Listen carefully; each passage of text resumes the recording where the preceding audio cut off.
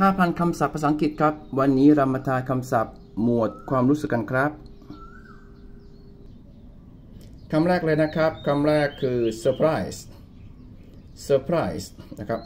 surprise คือประหลาดใจครับคำต่อมาครับเพื่อนๆ great great great คือดีใจครับคำตรงข้ามของคำว่าดีใจคือ อังกฤษอังกฤษนะครับ อังกฤษคือโกรธครับเพื่อนๆคำต่อมาครับเพื่อนๆ excited excited นะครับ excited คือตื่นเต้นครับคำนี้ไม่รู้ไม่ได้เลยนะครับ เป็นคำพื้นฐาน happy happy นะครับ happy คือมีความสุขครับ ต่อไปครับคำนี้ proud proud นะครับ proud ก็คือภูมิใจนะครับ ต่อไปครับ bored bored หรือ boring ก็ได้นะครับ ก็คือเบื่อหน่ายครับ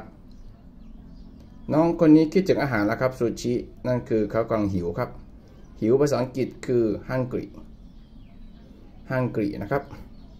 hungry ครับคือหิวครับ ส่วนน้องคนนี้คิดถึงน้ำครับ แม่แสดงว่ากระหายน้ำหรือหิวน้ำนะครับ thirsty thirsty นะครับ thirsty คือกระหายน้ำหิวน้ำครับ น้องคนนี้กำลังตกใจกลัวนะครับ เราเรียกว่า afraid afraid นะครับ afraid คือกลัวนะครับคำต่อมาครับ worry worry worry คือกุ้มใจกังวลใจนะครับ เติม ed เรียกว่า worry นะครับ น้องคนนี้หน้าตาเศร้ามากครับ เศร้าภาษาอังกฤษคือ sad sad นะครับ sad คือเศร้านะครับ น้องคนนี้ครับหน้าตาดูเหนื่อยมาก เราเรียกว่า tired tired นะครับ tired ก็คือเหนื่อยนะครับผม ส่วนน้องคนนี้หาวแล้วครับ น่าจะง่วงนอน ง่วงนอนภาษาอังกฤษ